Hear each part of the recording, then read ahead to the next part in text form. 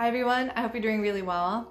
Today I am reviewing a fragrance called Bengale Rouge and it's from the House of Papillon.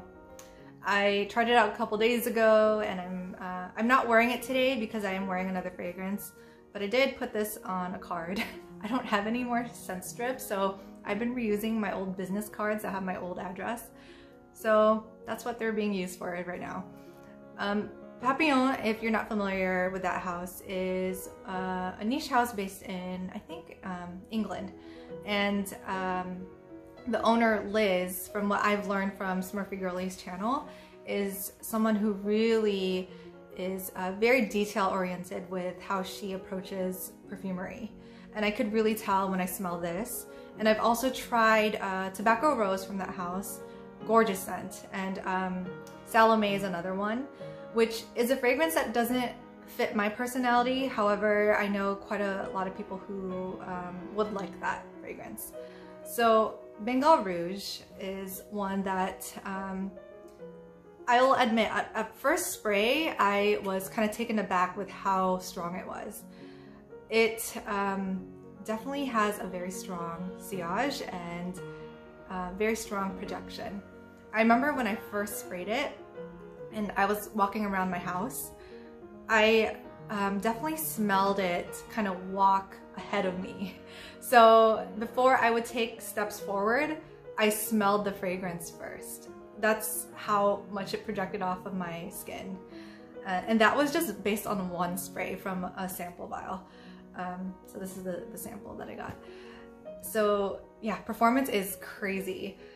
And when you first spray it, I definitely get this blast of resinous balsamic myrrh. And the way it smells though, it's almost like it's candied, like caramelized or something. Um, there was like a stickiness to it that I thought that was very unique. Uh, I think rose may be one of the notes in this, but I don't really smell much of rose, uh, which is fine. I think the star of the show is definitely the, the resinous myrrh. Um, so that's what I definitely got when I first spray it. To me, the best part about Bengale Rouge is the dry down. The dry down was what really um, impressed me with this fragrance. So with the top notes and all that, um, I said, you know, it's good, but it's not something I would see myself wearing. But after wearing it for 30 minutes, and then it went into that dry down, I was like hooked. It, it's so good. It's something I could see myself wearing in the winter. So uh, after it dries down, it smells like taking a glass of warm milk and maybe almond milk and it has spices in it um, like cinnamon. I don't know if cinnamon is one of the notes. I don't think it is, but I definitely get spiciness in the in the base that almost reminds me of uh, like a chai latte. Yeah, um, and I just love how it mingles with the that candied uh, myrrh. Together, it just smells delicious and cozy. Like you're wearing a, a blanket and a warm scarf on a cold winter day. This is definitely one that I think would suit me in the fall and the winter for sure yeah. Um, the performance still um, is fantastic even when it dries down. Um, I would say that this lasted on my skin for a good like 10 hours, no joke. I remember I, because um, I sprayed it like on my, close to my wrist area and um, I had to wash my hands and you know, I try to wash up to my wrist um, or above it and even after washing it, it's still stuck on. Like as if I didn't even try to wash my hands. It's crazy. And uh, the projection was still very strong uh, for that good amount of time. So if you're looking for something that's cozy, uh, but not your typical cupcake vanilla, this is one that you want to try out.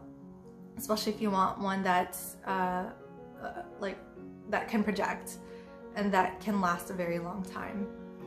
I think the the title of this fragrance is very fitting. Although I'm not uh, a cat person myself, I don't own any cats, but I think this was um, kind of like a tribute to the perfumer's uh, Bengal cat.